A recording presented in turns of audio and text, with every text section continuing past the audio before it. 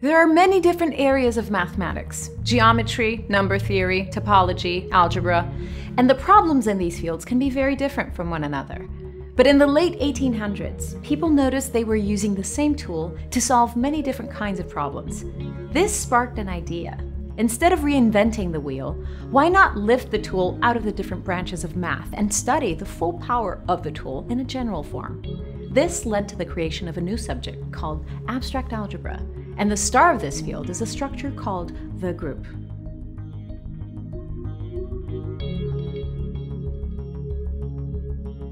Before we give the definition of a group, let's see a few examples.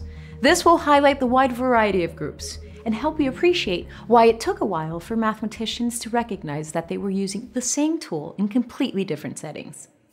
To begin, imagine you live on an alien planet where each day is seven hours long. Here, a clock has seven hours. You might be tempted to number them 1 through 7, but if computer science has taught us anything, it's that you should begin counting with 0. So we'll number the hours 0 through 6.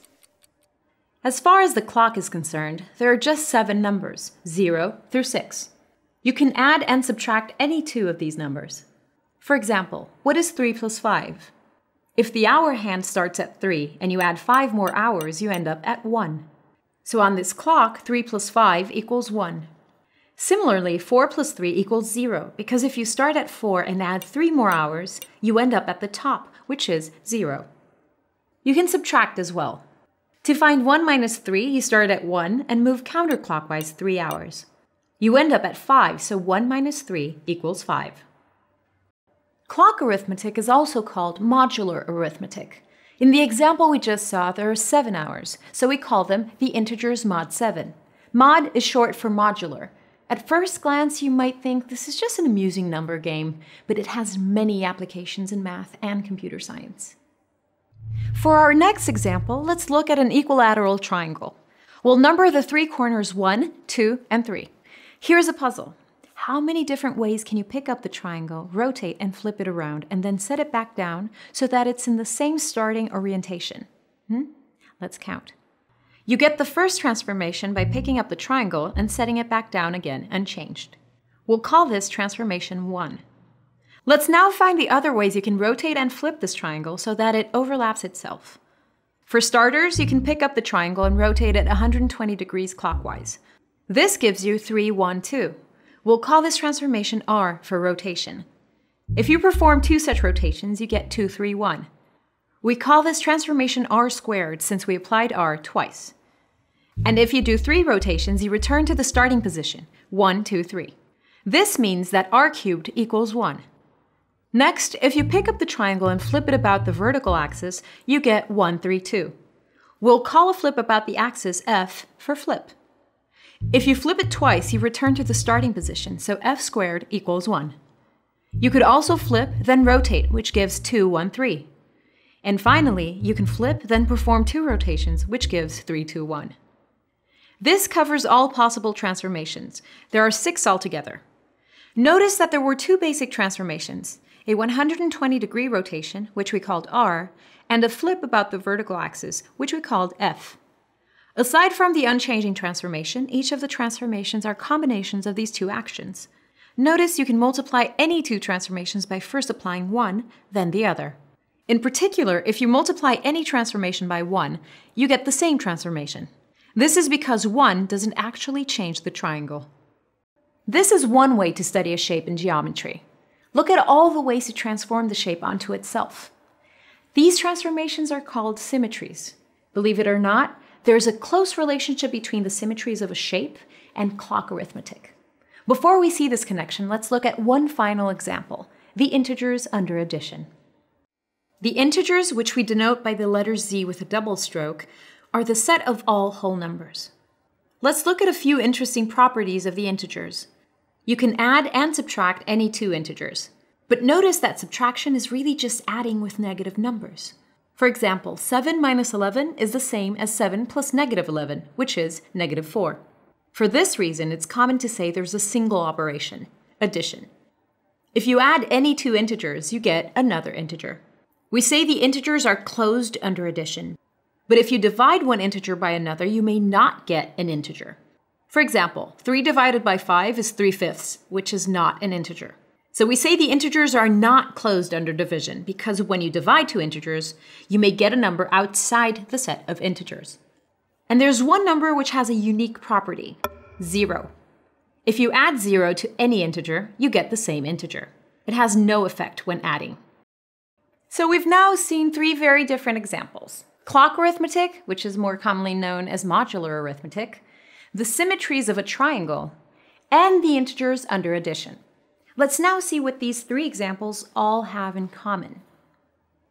To begin, each of these examples have a set of objects which we call elements. For the integers mod 7, the set of elements are the numbers 0 through 6. For the triangle example, the set is not the triangle, but the six geometric transformations, which we also call symmetries. And for the integers, the set is the infinite collection of whole numbers. Next, for each of these sets, there's a way to combine any two elements to get another element in the set. We call this an operation, and we use a symbol to show that we are combining two elements. For the integers, the operation is addition, and the symbol is the plus sign. For the integers mod 7, the operation is also addition. In modular arithmetic, we also use the plus sign, even though addition means something different on a clock. As with the integers, subtraction is redundant. Any subtraction problem can be rewritten as an addition problem. For example, 2 minus 4 is the same as 2 plus 3. And for the symmetries of a triangle, it's common to use a multiplication symbol. You could use a different symbol if you'd like, but people tend to reuse the addition and multiplication symbols a lot with groups. It's also important to remember that each of the three sets are closed under the operation. That is, if you pick any two elements A and B in the set and combine them, you get another element in the set. All three structures also have something called an identity element. This is an element that has no effect when combined with other elements. For the integers mod 7, it's 0. If you take any number x on the clock and add 0, you get x. For the triangle, the identity element is the transformation 1.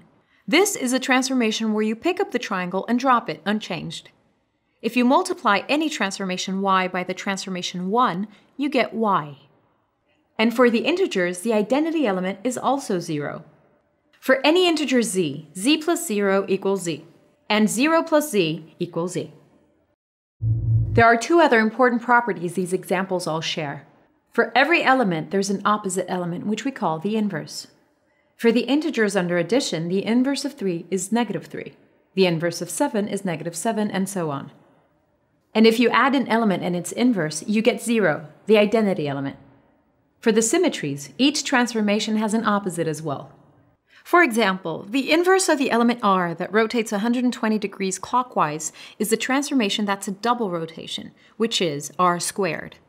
This is because doing three rotations makes a complete circle, returning you to the starting position. In other words, if you multiply r and r squared, you get 1, the identity element for the symmetries. For the integers mod 7, the inverse of 3 is negative 3, but negative 3 is just 4 on the clock, so we say the inverse of 3 is 4. And 3 plus 4 equals 0, the identity element. So for all three examples, each element x has an inverse. If you're using the plus sign for your operation, the inverse is written as negative x. And if you're using the multiplication sign for your operation, the inverse is written as x to the negative 1. Combining x with its inverse gives you the identity element. There's one final property that's essential in the definition of a group. That's the associative property. This just says that when combining three elements, it doesn't matter how you group them. You can start by combining the first two elements, or you can start with the last two elements. Either way, you'll end up with the same answer. This is one of those properties people take for granted, but it's important nonetheless.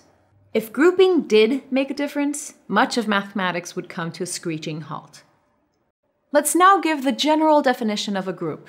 A group is a set of elements G. It has an operation which allows you to combine any two elements. Common symbols for the operation are the plus sign or multiplication sign, but when speaking generally, we'll use an asterisk. Next, the group is closed under this operation. This means if you combine any two elements in the group, you get another element in the group. Each element x has an inverse. This is an object that has the opposite effect of x. And when you combine x and its inverse, you get the identity element, which we'll call E. If you combine any element y with the identity element e, you get y. And finally, the elements obey the associative property. This is the definition of a group. It took mathematicians many years of work to identify these as the most essential properties. For example, notice that groups are not required to be commutative. That is, x times y may not equal y times x. This rule was not included because it would exclude many important examples like the group of symmetries. With the triangle, for example, a flip followed by a rotation gives you something different than a rotation followed by a flip. If a group is commutative, we call it a commutative group. Another common name is an abelian group. If the group is not commutative, then we say it's non-commutative or non-abelian. There's an old saying, crime doesn't pay, and neither do math videos. It's sad, but true. With your help, however, we can continue making videos for you on advanced mathematics. If you're in a position to help, please consider supporting us on Patreon. But if money's tight, then don't worry. Just subscribe, tell a friend. We're good.